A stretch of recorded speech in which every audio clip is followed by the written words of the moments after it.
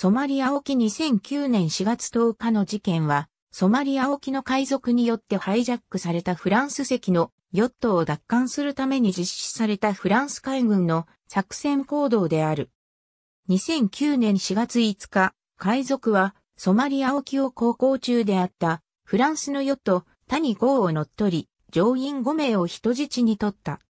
事件発生を受けて、フランス当局は人質解放を求めて交渉をする。同月9日にフランス当局は海賊に対して人質交換を提案したが海賊はこれを拒否し、人質を一人ずつ殺害すると脅迫、さらにソマリア沿岸に近づき上陸の恐れが出たため、救出が実行されることとなる。ヨット捕獲の方を受けて、フランス海軍艦船2隻は素早く現場海域に展開し海賊と交渉を開始する。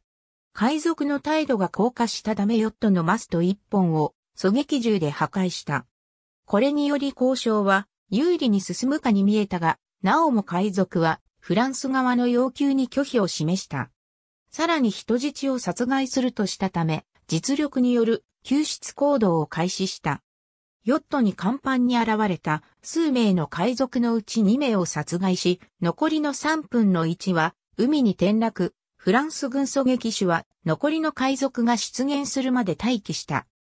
海軍コマンド所属のコマンドオユベル隊員が2隻の限外機付け公式ゴムボートに分乗しに方向からヨットに接近し、ヨットに乗り込む。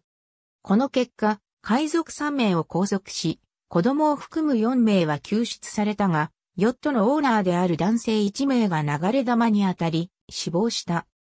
フランス海軍特殊部隊員のほか、フランス海軍フリゲート F-713 アコニと F-730 フロレアル F795 コマンダンデュキン及びドイツ海軍フリゲート F218 メクレンブルクイコールフォアポンメルンが救出に参加していた。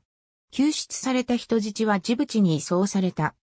フランス軍はソマリア海賊に関する人質救出作戦を3回実行したが、人質が死亡したのは今回が初めて。ありがとうございます。